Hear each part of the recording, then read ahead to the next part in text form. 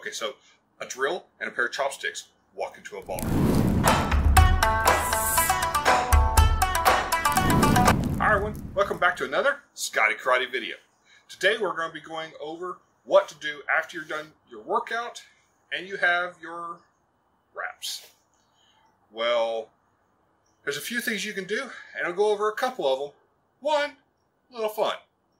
That in today's episode of That's right, custom. One of the first ways we'll be going over today is going to be how to roll up your wraps. Now, this is something that you probably already do, and if you haven't, you probably know who does. You simply just take it, you wrap it around your finger, and you spend the time to sit here and wrap it. Uh, do to do to do. So housewife and kids. Yeah, okay, that's nice. You got a new dog. Oh, that's interesting. Okay, it takes forever, but you'll get it done, and you'll wrap them up. Now, there's nothing wrong with this.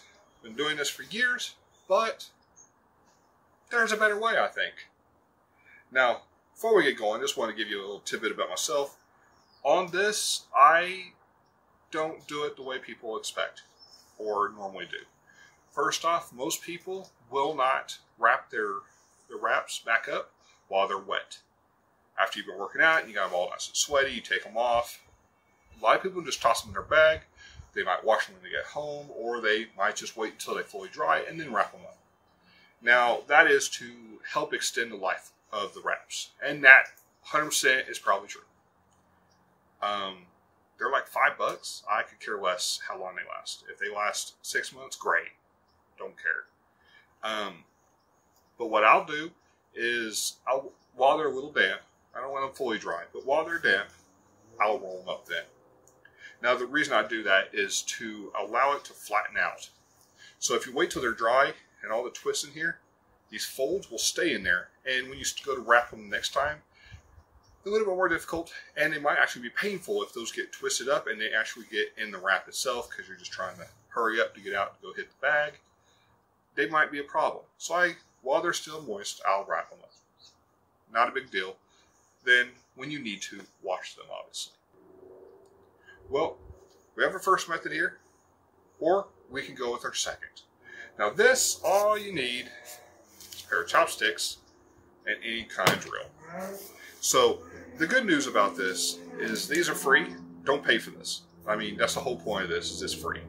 But you get a pair of chopsticks at your local Chinese restaurant, and you'll notice they'll come like this with a little box that you have to break. So we'll do that.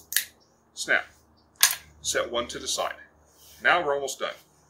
I'm going to come in a few inches, say right about here, and I'm going to break it. Now, all that's done is make it a lot more manageable so it isn't wobbling around as we're doing this. Take your drill, stick it in there, lock it up. Now the square section is what we're going to be using. Because the tip of this is so smooth, it will just slide around on it and won't catch. And it makes it great when you want to pull them off because they come off super easy. But it's so much harder to wrap them on the smooth side than it is the square. And truly, it's not much harder to get them off. So let me show you what I'm talking about. So just take your wrap, take the thumb wrap portion, and then we're just going to wrap it around it. Now this, you will have to start off just a little bit. Um, all you do is get it going a couple times, just like that. And then all I'm going to do is slowly start wrapping it. Turn the drill on and go. Now, what I'll do is I'll put that out here, get as much of the wrinkles and all that uh, folds out as possible. And what I'm going to do is kind of hold it. And what I'm going to do is just kind of give a little pressure to the wrap as I'm drilling. That way it goes on there nice and smooth. And as I'm doing this, I can control what I'm doing. So I can see, oh, I'm going way off. Oh, whoops. You can always stop, go back, and do it again. Not a big deal. Now, you'll keep going, do to do. Get it done. Now we're at the end. I'm just going to wrap it up. And there's one. Now what I'll do is I'll go and I will take the other one and wrap it around it. So same thing, I'll start it with the first wrap, and then just continue on.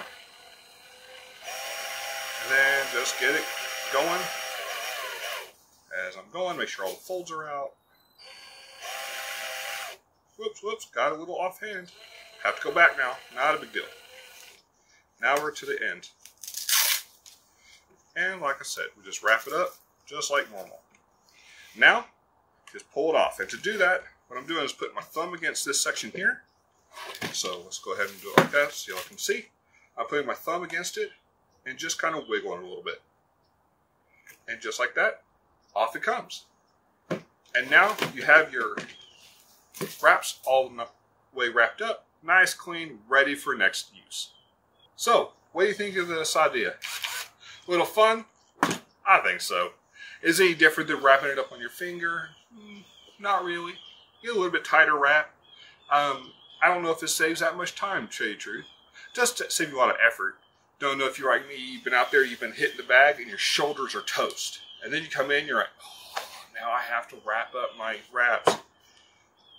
And then you're sitting there, and you're wrapping. And when your shoulders are already burnt, ooh man, that makes it so much worse. But this, take it nice, relaxed, let the drill do the work. It's a lot of fun. I think it's funny. But that's all you have to do to make one. They're literally free if you have the drill. So what do you think? Have you ever done this before? Do you have a hand wrap in your gym that you can use? Or do you just use classic finger method to wrap around your finger, pull them off, and you're done? Let me know in the comments below.